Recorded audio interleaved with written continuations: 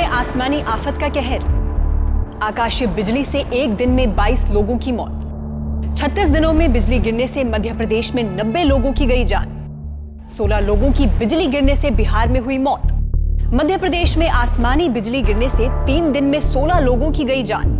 ये वो खबरें हैं जो हम सभी आए दिन सुनते रहते हैं। लेकिन क्या आपने कभी सोचा है कि आखिर ऐसा क्यों होता है? क्या आप जानते हैं कि आकाशीय बिजली हमारे देश की सबसे बड़ी आपदा है? हर दिन हमारे आसपास कई लोग इसका शिकार हो रहे हैं। तो खुद की सुरक्षा और दूसरों की सुरक्षा के लिए बिजली गिरने के कारणों को जानना ज़रूरी है।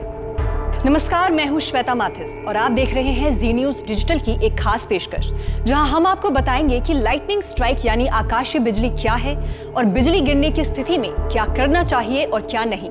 आपने अक्सर ये देखा होगा कि जैसे जैसे मानसून पास आता है वैसे वैसे आकाशीय बिजली गिरने से लोगों की मौत होने की ऐसी खबरें भी बढ़ने लगती है।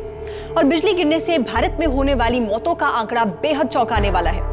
जहाँ अमेरिका में बिजली गिरने से साल में केवल 45 लोगों की मौत होती है, वहीं हर साल आकाशीय बिजली गिरने से भारत में 2000 से 2500 लोगों की जान जाती है। और इनमें से ज़्यादातर ग्रामीण इलाकों में होती है। हर साल बिजली गिरने से होने वाली मौतों में छियानवे प्रतिशत ग्रामीण क्षेत्रों में दर्ज की जाती है। जब आसमान में बादल छाए होते हैं तो उसमें मौजूद पानी के छोटे छोटे कण हवा की रगड़ के कारण चार्ज हो जाते हैं। कुछ बादलों पर पॉजिटिव चार्ज आ जाता है तो कुछ पर नेगेटिव चार्ज। जब ये दोनों तरह के चार्ज बादल में मिलते हैं तो उनके मिलने से लाखों वोल्ट की बिजली पैदा होती है। जब चार्ज बादल किसी ऊँचे पेड़ या बिल्डिंग के पास से गुजरता है तो उसके चार्ज के खिलाफ बिल्डिंग या पेड़ में ऑपोजिट चार्ज पैदा हो जाता है।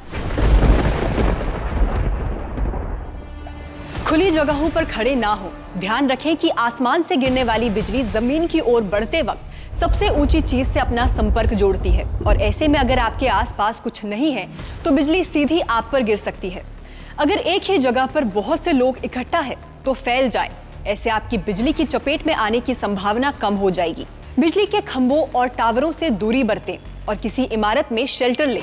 अगर वहाँ बिल्डिंग नहीं है तो कार या किसी वाहन या कठोर परत वाली जगह के नीचे चले जाएँ। ऑटो रिक्शा, बाइक, ट्रैक्टर या कोई भी खुली छत वाली गाड़ी बिजली गिरते वक्त बिल्कुल भी सुरक्षित नहीं है अगर आप घर पर हैं तो खिड़कियों, दरवाजों और बरामदे में ना जाएँ। घर में किसी मेटल के पाइप को भी ना छुएँ। हाथ धोने या शावर का उपयोग ना करें बच्चों को बिजली के किसी भी उपकरण से दूर रखें अगर किसी पानी वाली जगह है तो तुरंत बाहर निकलने की कोशिश करें मोबाइल चार्ज या किसी अन्य उपकरण को प्लग करने के साथ उसका इस्तेमाल बिल्कुल ना करें। अगर बिजली चली भी जाए तो भी इलेक्ट्रिक उपकरणों या स्विच को बार बार ना छुएँ। मेटल की छतरी का इस्तेमाल ना करें।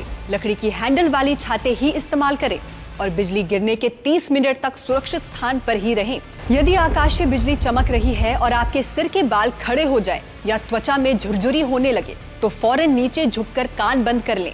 यह इस बात का संकेत है कि आपके आसपास बिजली गिरने वाली है। यदि किसी व्यक्ति पर बिजली गिरती है तो फ़ौरन उसे किसी सुरक्षित स्थान पर ले जाएँ।